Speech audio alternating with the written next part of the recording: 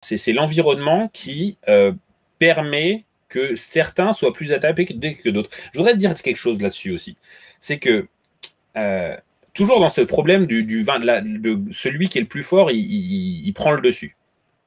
Je reprends l'exemple de la girafe tout à l'heure. Dans mes enfants, voilà, je une girafe de taille moyenne. Dans mes enfants, j'ai des enfants de taille de petite taille et des enfants de grande taille. Est-ce que le fait que celui qui est grand, il aille manger les feuilles, il soit capable d'aller manger des feuilles plus haut, il va être au détriment de celui qui est petit? Non, évidemment. Ça permet d'élargir la capacité de mes enfants à, prendre plus de hauteur de feuillage. Et en fait, ça va laisser plus à celui qui est plus petit. Donc, c'est pas parce que je suis plus adapté que les autres de mon espèce vont être moins adaptés. Et, du coup, ça, change complètement cette mentalité qui est euh, d'abord, euh, on, pourrait penser que la, la, théorie de l'évolution, c'est d'abord la compétition, mais cet exemple montre bien hmm. que c'est pas d'abord de la compétition, c'est d'abord de l'exploitation optimale de la ressource. Alors peut-être que les acacias euh, africains apprécient pas tellement que les girafes puissent avoir différentes tailles, mais on n'est pas dans, le, dans la compétition de se tirer la bourre entre frères. Pas du tout. Hum. Au contraire, la diversité, ça peut faire justement que il euh, y a Émile qui fait mauvaise foi et moi je suis scientifique et c'est super, on se complète, on peut se retrouver autour d'un plateau. Euh, euh, et sur des questions intelligentes avec des, intéressantes avec des, points de vue complètement différents. la diversité, c'est cool parce que ça permet d'explorer, d'exploiter des choses différentes. Euh, et ça, euh, bah, c'est la diversité, c'est la, enfin, la théorie de l'évolution est complètement compatible avec ça, au contraire. Quoi. C'est... Compétition n'est pas une théorie de l'évolution. Il faut vraiment casser cette égalité. Et d'ailleurs, pour, moi, c'est, intéressant ce que tu dis parce que, euh, tu sais, dans, dans, dans, certaines expériences de, l'Église qu'on peut avoir, qui est des milieux justement qui cherchent à, en tout cas, qui cherchent, en tout cas, qui ont des fonctionnements qui structurellement cassent la diversité. Tu vois ce que je veux dire? On, font que soit tu te conformes, soit tu soit tu te, soit tu t'éjectes. Est-ce que finalement, ça, c'est pas une notion qui fait que justement, euh, tu vois, le manque de pluralisme qu'il peut y avoir dans certaines églises n'est pas justement quelque chose qui finalement finit par euh, nuire même à la, qualité même de l'organisation, tu vois, et à sa, viabilité. complètement. Ah, complètement. Enfin, on, on l'a déjà un peu touché tout à l'heure avec la, remarque finale de David. Euh, l'évolution, elle est fondamentale à la fois. Clairement, c'est un peu l'histoire du, chêne et du roseau euh, dans, La Fontaine. Si tu n'es pas capable d'avoir une foi qui est euh, euh, un peu plastique, un peu, enfin, qui est capable de prendre en compte les, faits, bah, tu, tu, vas mourir. parce que c'est la loi de la vie. Hmm. la loi de la vie, c'est si tu s'il n'y a pas une possibilité de, de, de prendre en compte les éléments nouveaux, eh ben, eh ben, tu meurs. Alors, il y a Eman qui dit que, tu es en train de nous faire une ode au métissage. Euh, alors, le métissage, c'est pas forcément la diversité. Euh, alors, moi, je suis pas forcément contre le métissage. Hein. Je suis marié à une Mexicaine, donc euh, je peux avoir une certaine tolérance au métissage, mais, mais on peut être divers dans des, dans, des populations distinctes. Hmm. Donc, je pense que le, et, mais inversement, le métissage n'est pas forcément l'uniformité. Hein. Euh, quelqu'un qui, a eu des, euh, qui a vu des, descendants de métis voit bien qu'il peut y avoir des enfants qui sont très différents. C'est pas un problème. Oui, moi, c'est ce que je trouve. Euh, moi, tu vois, par exemple, quand on discute, c'est intéressant parce qu'on fait un peu d'ecclésiologie, mais euh, quand, on, quand on discute de. Souvent, il y a souvent beaucoup, de personnes pour qui la, la, la, division des églises, le fait qu'il y ait plusieurs dénominations d'églises, c'est un drame absolu et qu'on devrait tous être rassemblés sous la même église. Et que. Moi, en soi, moi, j'ai. Moi, j'ai aucun problème, et même je pense que c'est sain que des personnes qui, qui divergent trop se séparent, tu vois, et mettent un peu de distance, tu vois ce que je veux dire? Tu vois, et qu'ils ils fassent un petit peu la foi, euh, tu vois, ils vivent de leur côté. Pour moi, le problème, c'est pas la. Moi, je, je vois pas un drame dans la diversité des églises, tu vois. Pour moi, le drame, c'est les guerres religieuses, tu vois. Genre, ah, pour moi, le, le, le drame, c'est pas la diversité des églises. Pour moi, le drame, c'est pas qu'il y ait une église orthodoxe, qu'il y ait une église catholique, et des églises protestantes, des églises protestantes évangéliques. Pour moi, c'est pour moi, c'est pas un drame, tu vois. Vraiment, euh, au contraire, je pense que même que parfois, pour que la diversité se, dé... parfois, il faut la laisser un petit peu, faut, faut laisser aussi un peu chacun évoluer de son côté, tu vois. Mais pour moi, le drame, c'est le manque de dialogue, quoi. C'est l'absence de dialogue, et voire même pire que l'absence de dialogue, la guerre, quoi, tu vois. que tu cherches à, faire disparaître l'autre, tu vois. Et pour moi, ça c'est ça le, tu vois, et bref. C'est pour moi, pour moi le problème c'est pas la diversité, c'est que cette diversité n'est pas exploitée comme une force, tu vois qui fait grandir. Tu vois. Il y a les choses que j'avais pu. Bon, je, pense qu'on était. C'était bien qu'on soit sur l'importance de, l'évolution euh, pour la vie et la diversité. J'aimais bien ton idée sur la diversité des églises.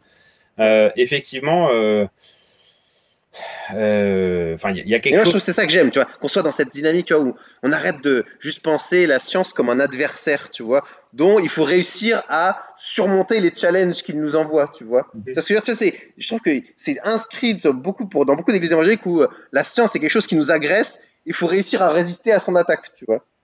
Tu vois? Mhm et qu'on arrive à voir enfin la science comme quelque chose qui nous fait, qui nous, qui nous nourrit théologiquement, tu vois, qui nous, tu vois. Et moi, c'est ça que j'aime bien, tu vois, c'est genre, tu vois, que la théorie de l'évolution nous inspire, euh, tu vois, aujourd'hui, on, aujourd'hui, on fait de la psychologie évolutionniste, tu vois, ça nous, enfin, je trouve que ça nourrit notre vision, tu vois, et c'est, enfin, loin d'être positif, hein, on peut faire mieux que de survivre à la science, quoi. tu vois ce que je veux dire? Ouais, ouais, non, je, je, suis tout à fait d'accord à ça. Euh, je on aurait tendance à dire ne crois rien, euh, ne crains rien, crois seulement. C'est euh, c'est euh, c'est enferme-toi dans ta croyance. Ouais. Moi, j'aurais plutôt tendance à dire ne crains pas, crois et puis laisse le reste arriver et puis et puis fais avec et puis on n'a pas obligé de si notre foi elle est solide, elle n'a pas besoin d'être défensif quoi.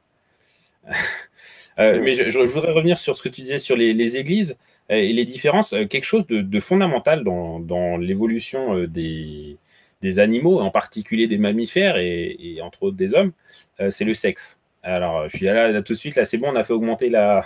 Enfin, c'est pas pour faire augmenter l'audience, hein. c'est juste que vraiment, c'est un des grands problèmes de l'évolution au XXe siècle, en fin du XXe siècle, et je pense que c'est encore un peu un sujet à débat, c'est pourquoi on fait du sexe? Pourquoi les êtres, les êtres, les animaux, les plantes, enfin, pourquoi il y a du sexe partout? Euh, Et en fait, c'est justement parce que le sexe, c'est le métissage. C'est permettre de, à des choses qui ont divergé, qui, ont, qui sont différentes, de pouvoir remixer leurs divergences. Parce qu'on n'est jamais différent que sur une chose, on est différent sur plein de choses. Et puis, euh, cette divergence sur plein de choses, la, la sexualité permet de euh, faire des nouvelles associations de ces divergences. Et ces nouvelles associations, en particulier en contexte de crise, sont très efficaces. Et ça encore, mmh. c'est les expériences sur le monde bactérien qui, qui, sont, qui, qui, sont intéressantes. Et on voit effectivement que euh, il y a pas mal de bactéries qui sont capables à la fois de se reproduire sans, euh, sans euh, sexualité, mais qui, mises dans un, dans un environnement euh, qui les challenge, qui les stresse, vont faire de la sexualité alors très différent de ce qu'on peut faire nous, mais euh, voilà, faire ce brassage génétique. Euh, et c'est ce qui va leur permettre, ce qui va faciliter l'émergence de, de, descendants qui sont capables, qui sont adaptés à, euh, aux, aux, nouveaux environnements. Et là, le, le, la, le, parallèle sur tout ce qui est, tout ce qui est foi et même progrès de manière générale, pour moi, est, très clair. C'est quand on, ça peut être bien d'avoir des, des, des, évolutions, euh, d'avoir des évolutions séparées. Il ouais. euh, y a un temps pour tout. Et puis il y a un temps, il euh, y, y, a un temps pour la séparation et puis il y a un temps pour le rencontre, pour la rencontre. Ouais. Et, et, ça renforce encore ce que tu disais, c'est-à-dire que non seulement la diversité c'est pas grave, mais c'est bien parce que pour pouvoir construire quelque chose de cohérent, on peut avoir besoin d'être isolé. On peut avoir besoin de penser seul face à sa feuille blanche. On peut avoir besoin de réunions en, église ou en dénomination. On essaye de, construire quelque chose de cohérent. Et puis, on peut avoir besoin aussi, et je pense qu'on a besoin aussi, et particulièrement en temps de crise, de ces moments où on rejoint des communautés, des, entités qui, ont évolué de manière séparée, qui ont, avancé de manière séparée, pour éventuellement créer quelque chose de nouveau et retrouver des nouvelles combinaisons de ces systèmes qui ont été, élaborés de manière indépendante. Euh, l'évolution, finalement, on, on, peut voir l'apparition du langage comme euh, une évolution génétique puissance des millions. Ouais. Pourquoi? Parce que euh, l'information qui devait être encodée à coup de reproduction euh, dans de l'ADN, elle peut passer à travers des mots. Et aujourd'hui, elle peut passer d'un bout à l'autre du globe à la vitesse de la lumière. Et ça, c'est pour moi, c'est un miracle. Enfin, c'est et, quelque part le fait que Dieu ait pu créer un monde dans lequel on en arrive là. Au bah, commencement était la parole. Oui, mais non seulement et puis, il est au commencement et puis à la fin et il a créé un monde. Même si on prend une vision du grand horloger, moi j'ai pas une vision du grand horloger. Moi, je, pense que Dieu il, agit de manière complètement euh, métaphysique dans ma vie, dans mes pensées. Il y a, il y a une une relation, si on veut, même si je, je c'est quand même pas comme une relation humaine, euh, une relation avec Dieu. Je, crois en ça, mais même si on ne voit qu'une vision de Dieu comme étant le grand horloger qui a mis les choses au départ et puis depuis ça tourne, depuis le Big Bang ça tourne sans intervention de Dieu, il faut vraiment être Dieu pour avoir mis la constante de Planck au bon moment, quoi, au, à, bon endroit, et puis que voilà que, tout se fasse pour qu'on en arrive à, à, avoir ce genre de discussion-là à distance euh, en, utilisant toutes des propriétés de la physique quantique. Enfin, c'est, c'est, moi, je trouve ça merveilleux, c'est fantastique, quoi. Quelle, aventure C'est, euh, il, faut, il faut être Dieu pour créer un monde pareil. Après, je crois que euh, Dieu a bien plus que ça à apporter dans la vie de chacun d'entre nous. Mais c'est pas parce que ça a évolué que c'est triste, non, c'est ou que c'est pas à la gloire de Dieu, non, c'est ça non seulement Dieu a réussi à construire un monde aussi extraordinaire, mais en plus il s'est fait de manière progressive avec, une, avec un chemin, avec une aventure, avec... Euh, euh, moi j'aime bien euh, Jésus qui dit je suis le chemin, la vérité, la vie. Il dit pas je suis la destination, la vérité, la vie. Il dit je suis le chemin.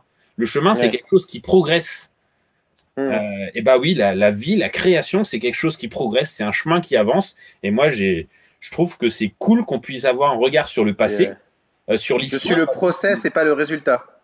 Ouais, bah, et, c'est cool comme ça. Enfin, j'aime ça. Et un, autre truc que j'ai mentionné brièvement, c'est hein, qui m'émerveille, c'est notre capacité à trouver ça beau, hmm. à aimer ça, à euh, pas, pas, seulement un coucher de soleil ou un euh, ou les montagnes ou la mer, mais aussi toute cette, cette évolution, ce, cette histoire de l'homme, de la vie, de, de l'univers euh, c'est passionnant euh, et, on arrive à s'émerveiller et c'est bien. Très bien. Amen.